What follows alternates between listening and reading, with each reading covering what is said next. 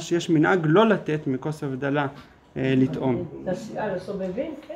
כן, ומי שמבדיל הוא שותה. אז יש מחלוקת, יש מחלוקת באמת אם נשים מחויבות או לא, ואם הן מחויבות, האם זה מהתורה או מדברי סופרים. והאדמו"ר הזה כן מביא כאן את האריכות של הדעות, אם חייבים או לא. ובסוף האדמו"ר הזה כן, הוא פוסק שאנשים חייבות בזכור ושמור וככה עיקר, שהן חייבות בהבדלה, אבל יש, הוא, הוא חושש גם לסברה שהן פטורות. ובגלל שהאדמו"ר הזה כן חושש לדעה הזאת שנשים פטורות, אז לגבי גברים שלא יבדילו, ש, שזכר לא יעשה הבדלה לנשים, מישהו יצא כבר ידי חובה. מישהו שהוא כבר לא צריך להבדיל בפני עצמו. כבר יצא ידי חובה, לא, לא טוב שהוא יבדיל לנשים, יברך בשביל זה. החשש הוא שלא יהיה ברכה לבטלה.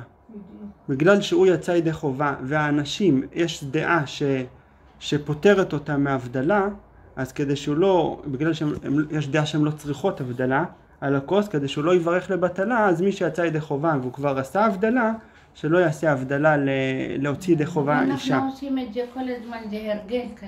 אבל בכל מקרה, על, על, על פת לא נוגעים לעשות, כמו שעושים עם מי שאין לו יין, הוא יכול לעשות קידוש על, על לחם, כן. על פת, אבל הבדלה לא עושים.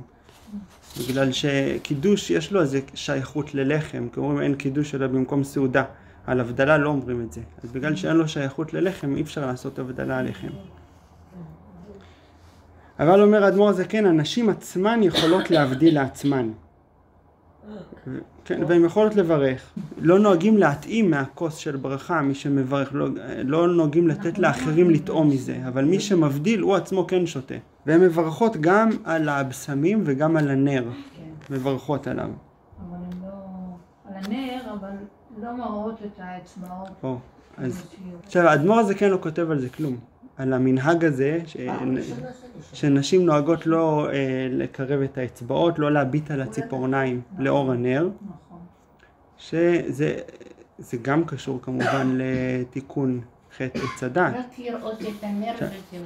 בכלל ההבדלה היא, היא מתחלקת לשלושה חלקים, צריך גם לשים לב לזה, זה על פי סוד. אני חושב הבן איש חי מזכיר את זה. הוא אומר שכל העניין של הבדלה זה בעצם סוג של הגנה, כי ברגע שיוצא שבת אז מתחיל להיות סכנה של יניקת החיצונים.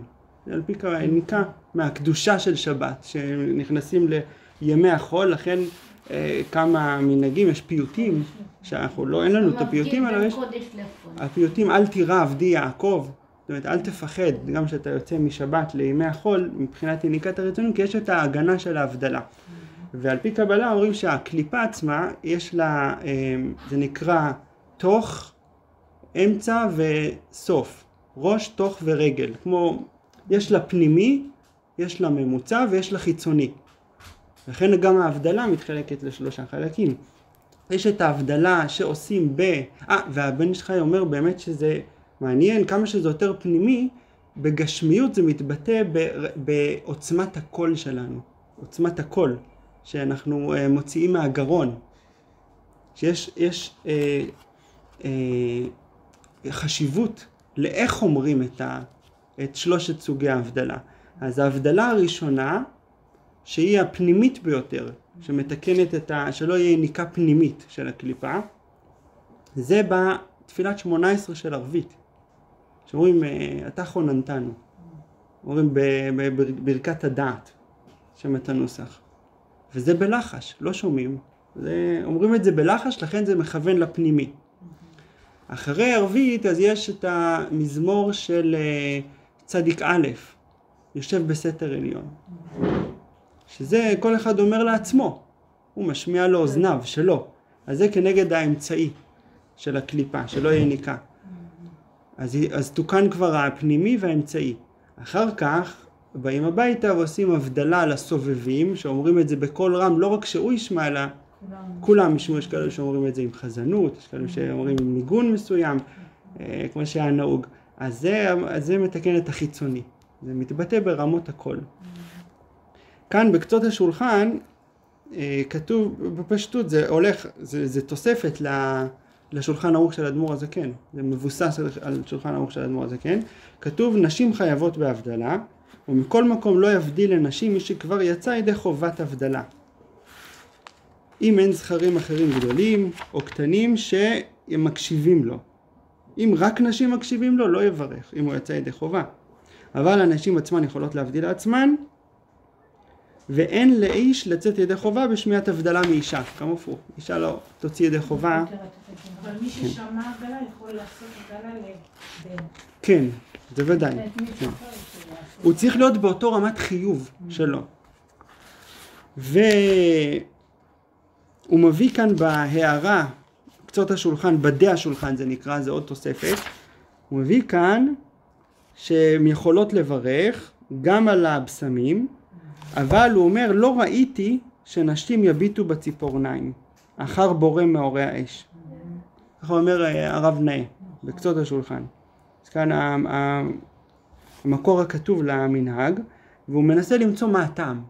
למה נשים לא... הוא אומר אפשר הטעם, הוא כותב בענווה, הוא אומר אפשר הטעם, על פי מה שכתב הפרי מגדים, אחד מהמפרשים של השולחן ערוך, באש של אברהם, סעיף קטן ה', טעם הבטה בציפורניים, לאז, ש... לפי שאז, זה מתקן את החטא של אדם הראשון. שמה היה לפני החטא של אדם הראשון? שהלבוש של אדם הראשון היה לבוש ציפורניים.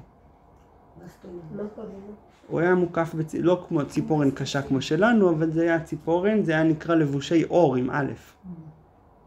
זה היה לבוש רוחני, שהוא נקרא ציפורן, קבלה, אה, כן, לבוש רוחני נקרא ציפורן? כן, ושהיה חטא עץ הדעת, אז הציפורן הזאת, הלבושי אור עם א', נשרו ממנו, ונשאר רק בקצות האצבעות. זה נשר כל הלבוש של הציפורן, ונשאר בקצות האצבעות.